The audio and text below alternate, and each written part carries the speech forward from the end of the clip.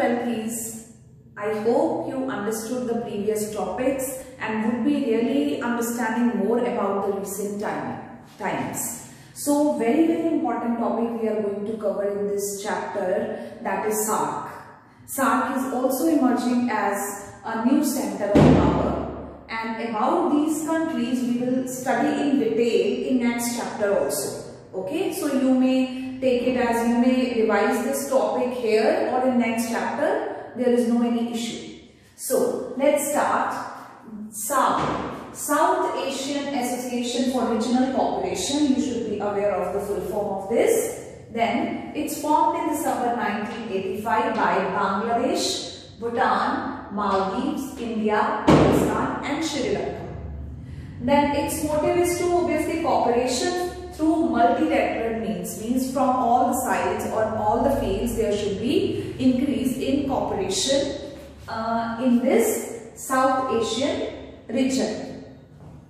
Then Afghanistan joined SAARC in 2007 actually. So idea of economic and political cooperation, economically we should have more cooperation as well as politically. In South Asia was the first raised this idea was by the president of Bangladesh in 1980, uh, Ziaur Rahman.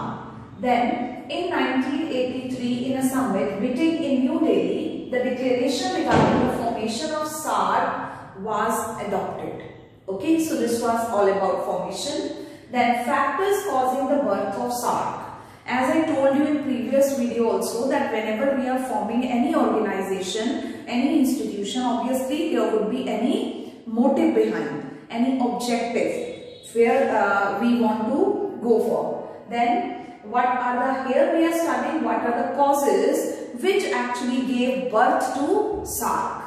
So central location of South Asia in Asia is very very important uh, you know location all countries gained independence after second world war so historical evolution was historical experience was approximately common so all countries share cultural background because people living in this area are not very heterogeneous. They their cultural uh, you know uh, things are kafi uh, these are very uh, you know uh, common. So then the region is mostly poor and overpopulated. So obviously this condition is also very common. Uh, main e economic activity of all the countries is uh, agriculture. So more number of people are engaged in agriculture here. Then what are five areas of cooperation? Here they decided that they will cooperate. There are five major areas. Number one, human resources. You know, it's the base of all types of development. Number two, transportation. Number three, health and population activities. Number four, telecommunication, science, meteorology and technology. Then fifth, agricultural and rural activities. So here uh, they decided to cooperate with each other.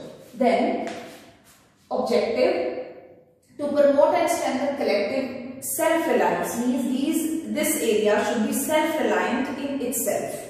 Okay, or एक से दो भले so दो से ज़्यादा right so they decided that we all can have self-reliance among the countries of South Asia to contribute to develop mutual trust understanding and appreciation of one another's problems means we really need to help each other if they will be uh, they will cooperate with each other then obviously they will become more strengthened in international politics कहते हैं ना हम अकेले होते हैं तो बहुत जल्दी टूट जाते हैं but when we are together we really struggle we can struggle and develop so SAFTA,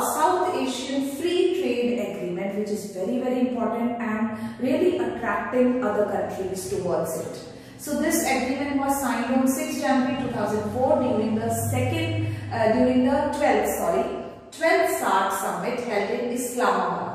The agreement came into force on 1st January 2006 and the trade liberalization program uh, TLP commenced from 1st January 2006.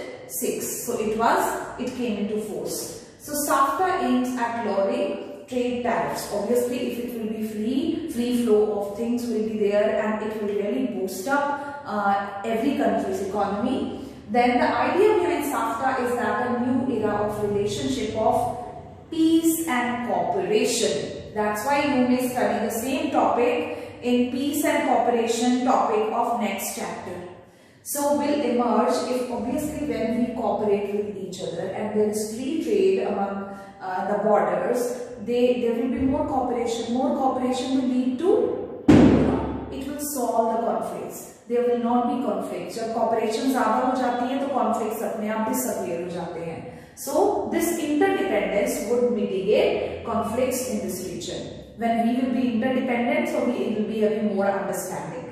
Then, but same, uh, some neighbors, but some neighbors really feel that SAFTA is a way for India to invade their markets. Means other countries are feeling that India is, can, uh, you know, uh, be more beneficial in all these countries because India is, you know, very populated country and others are feeling insecure because of India.